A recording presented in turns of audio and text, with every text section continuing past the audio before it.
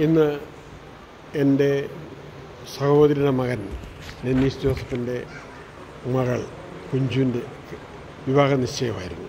വിട്രോത്തൽ. ഞാൻ നിങ്ങൾക്കറിയാം ഡെന്നീസിന്റെ ഇപ്പോൾ ഇതുവരെ ജീവിച്ചിരിക്കുന്ന ഇപ്പോൾ ജീവിച്ചിരിക്കുന്ന അങ്കിളാണ് ഞാൻ. ആത്മബന്ധം വളരെയുള്ള ഒരാളാണ് ഞാൻ. കുടുംബ ബന്ധങ്ങൾ ഒത്തിരി സൂക്ഷിക്കുന്ന ആളാണ് ഞാൻ. ഞങ്ങൾ വളരെയധികം പ്രതീക്ഷിച്ചിരുന്ന ഒരു കല്യാണം.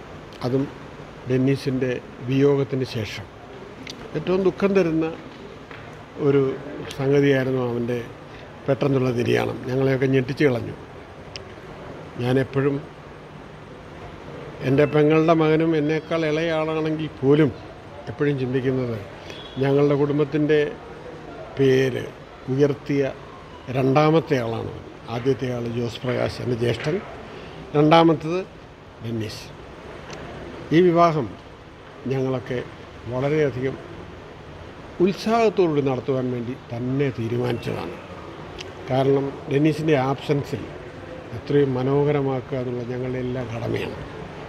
അപ്പോൾ അതിന് ഞാൻ മാത്രമല്ല എന്റെ ജ്യേഷ്ഠന്മാരുടെ മക്കൾ സഹോദരിമാരുടെ മക്കൾ എല്ലാവരും ഒത്തൊരുമിച്ചാണ് ഈ ഒരു ചടങ്ങിന് വേണ്ടി ഞങ്ങൾ ഒത്തൊരുമിച്ച് പ്രവർത്തിച്ചത് ദൈവാനുഗ്രഹം കൊണ്ട് ഇന്നത്തെ ഈ ചടങ്ങ് ഈ ബിട്രോത്തൽ വളരെയധികം നന്നായിട്ട് നടന്നു. ഡെന്നീസിനെ സ്നേഹിക്കുന്ന ധാരാളം പേർ ഇതിൽ പങ്കെടുത്തു. ഞങ്ങൾക്ക് ഒത്തിരി നന്ദിയുണ്ട്. കാരണം ഇവിടെ വന്നവർ പലരും എല്ലാവരും തന്നെ തൊണ്ണൂറ് ശതമാനവും ഡെന്നീസിനെ സ്നേഹിക്കുന്നവരായിരുന്നു. ഡെന്നീസിന്റെ സിനിമ എന്നല്ല ഡെന്നീസിന്റെ വ്യക്തി. അവൻ മലയാള സിനിമയ്ക്ക് നൽകിയ ഒത്തിരി ഒത്തിരി മഹത് കാര്യങ്ങൾ. അതൊക്കെ നെഞ്ചിലേറ്റുന്ന ഒത്തിരി വ്യക്തികൾ. ജോഷിയെ പോലെ സിബി മലയിലിനെ പോലെ ഒത്തിരി പേര് ഇവിടെ വന്നു. അതിനൊക്കെ ഞങ്ങൾക്ക് ഒത്തിരി നന്ദിയുണ്ട്.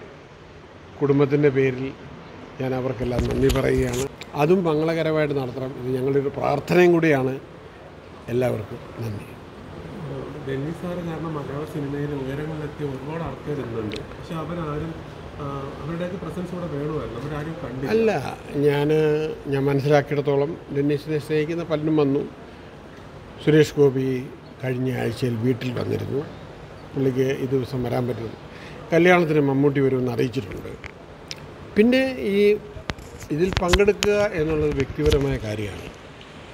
പിന്നെ സിനിമ കഴിഞ്ഞ പത്തൊൻപത് വർഷമായിട്ട് അറിയുന്ന ആളെന്നുള്ള നിലയ്ക്ക് സിനിമയിലെ ബന്ധങ്ങളെ ഞാൻ അത്ര കാര്യമായിട്ട് കാണുന്നില്ല. പലരും ആരുടെ കുറ്റമല്ല. സിനിമ അങ്ങനെയാണ്. സിനിമ അങ്ങനെയാണ്. അപ്പോൾ ആരൊക്കെ വന്നു പോയി എന്നുള്ളതല്ല. അവനെ സ്നേഹിക്കുന്നവർ വന്നില്ലെങ്കിൽ പോലും അവന് വേണ്ടി പ്രാർത്ഥിക്കണം എന്ന് മാത്രമേ എനിക്ക് പറയാറുള്ളൂ. സിനിമയിലെ ഈ ബന്ധങ്ങളെ പറ്റിയൊക്കെ പറഞ്ഞാൽ ഒത്തിരി ഒത്തിരി പറയും പറഞ്ഞു പോകേണ്ടി വരും. സിനിമ വേറൊരു ലോകമാണ്. അത് എന്താ പറയുന്നത്? വ്യക്തിബന്ധങ്ങളാണോ വലുതെന്ന് എനിക്ക് അറിഞ്ഞുകൂടാ ഉയരങ്ങളിലേക്ക് എത്തിച്ചവരെ മറക്കുന്നുണ്ടോ എന്ന് എനിക്ക് അറിഞ്ഞുകൂടാ. മറക്കരുതാത്തതാണ് കാരണം നമ്മളൊക്കെ മനുഷ്യരാണ്. സെന്റിമെന്റ്സ് ഒത്തിരി സൂക്ഷിക്കുന്നവരാണ്. ഡെന്നീസും അങ്ങനെയുള്ള ഒരാളായിരുന്നു.